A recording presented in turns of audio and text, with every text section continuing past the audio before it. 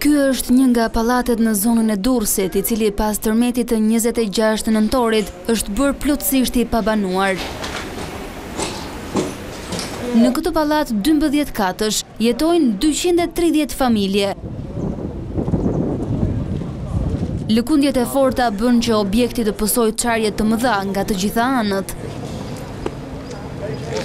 Banorët shprehin zhgënjimin që autoritetet nuk kanë shkuar për të përcaktuar se ç'do të ndodhë me këtë objekt. Në orën dymbëdhjetë që ra tërmeti i parë, kam qenë në ballkon, i thashë burrit të zbresim, sepse kur ikën pronarët ndërtuesit i thashë do të thotë që Po vjen një më i madh dhe ne s'kemi shpëtim.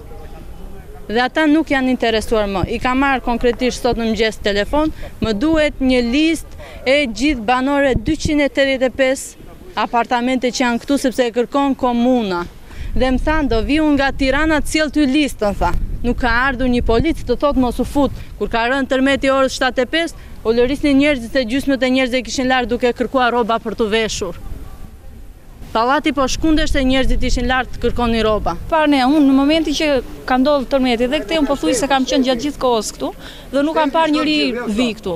Vjen ai një i bashkisë thotë mos hipni sipër, mos bëni, por asnjë masë që të jetë e sigurt dhe ne dhe të gjithë banorët. Banorët shprehen se në këtë pallat është vënë re që në fillim cilësia e dobët e punimeve, ndërkohë që investitorët janë zhdukur dhe nuk janë shfaqur fare për të parë situatën. Këtu është çmenduri.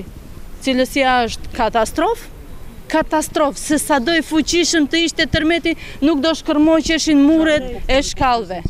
Ajo e shifni ju ça cilësie e burë kara. Deri në orën 7 s'kishte asnjë mërë burë. Absolutisht asnjë. Mas orës 7 pastaj fillun përlitë që thoni ik largohu nga aty. Shumë nga banorët po heqin pajisje të ndryshme shtëpiake për t'u sistemuar në mjedise të tjera.